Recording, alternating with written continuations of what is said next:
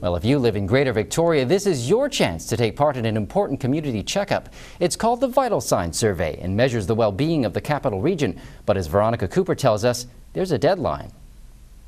So I took some um, handouts uh, to City Hall today. Um, oh, perfect. Lisa said that she'd uh, put them out for us. Staff from the Victoria Foundation are brainstorming about how to get the word out that the Vital Signs Survey is happening until July 1st. Vital Signs has been rooted in the community since we started in 2006. For residents of all ages across Greater Victoria, the survey is your opportunity to shape your community. It is so important to have the voice of this whole community and for them to understand that we're listening to them. That if they do this survey, that's going to make a huge difference. Think of the Vital Signs Survey as an annual community checkup. About the, the region, uh, what they think is worth uh, celebrating, uh, the things they think needs needs improvement, and how they rate the uh, the different areas of uh, the region.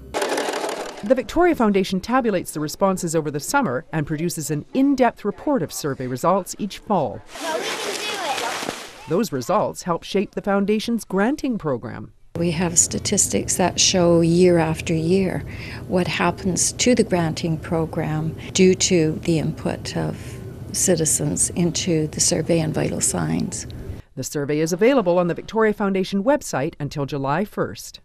We want to have broad representation from the community. So all the different demographic sections of the community, whether it's seniors or youth or the uh, folks that are um, single parents or unemployed folks, students, uh, everyone, uh, we really want to get their voices into the report. Click on our links tab to take the Vital Signs survey.